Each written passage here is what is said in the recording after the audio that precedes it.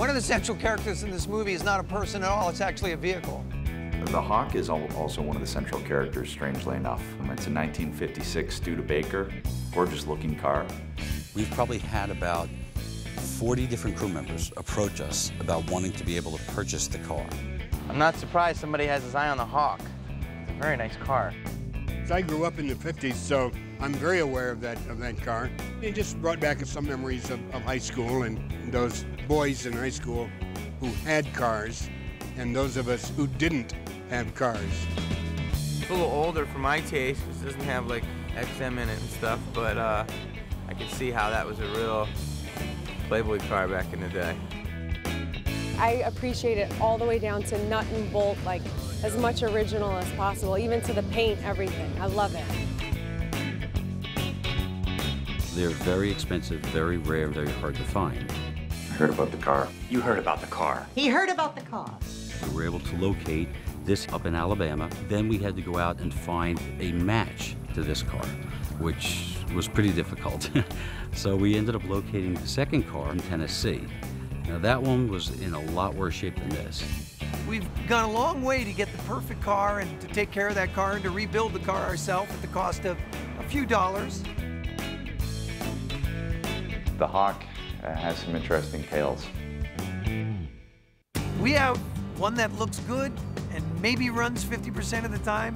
The other one that we generally blow up at the end of the movie or crash into a wall. It does hurt you a little that you spent all this time and effort um, to restore these cars and then for them to get totally destroyed. I really love old muscle cars and I don't want to see any car get destroyed, no. It really sucks uh, crashing a really nice car like this. I have to admit I cringed each time the Hawk got hit just because I appreciate classic cars and what it's probably gone through to make it 1956. Yeah, I felt bad about the thing. The car's seen better days and it'll probably, it'll probably go right to the junkyard from here. We've been having a little bit of problems with this vehicle from being repeatedly abused tonight. Oh my God, the Hawk? Well, drive is not drive on this. And reverse is down there. I don't know where reverse is. What the hell? It's a piece The mood here on set is very tense, especially every time that car dies. Jesus. There's a tremendous amount of pressure on a crew to shoot an action sequence all in one night that has so many moving parts.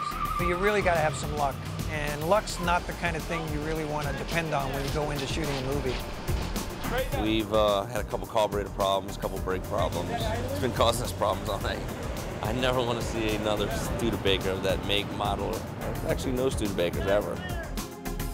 Figured out the problem is with the car. What? The alternator ain't alternating. The pistons, they ain't working either. For one scene, the brakes didn't really work, and we're on the seventh floor of a parking garage.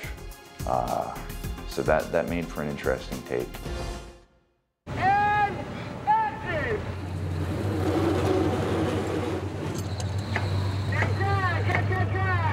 they not stopping? Nope. Well, they had told me uh, before to pump the brakes um, because they don't really work that well, and they didn't work at all. It's not stopping. What? Jamie the whole time was like, they're not working, they're not working, they're not working. And the guys go, stop. And I go, brakes, not here. It was pretty fun. Well, in hindsight, it's funny. At the time, I guess if we uh, hadn't, if I hadn't been able to turn and we'd gone straight over, we would have died. Thanks. For what? Keeping me alive. Protect and serve, my man. That's the job. We averted going down seven stories.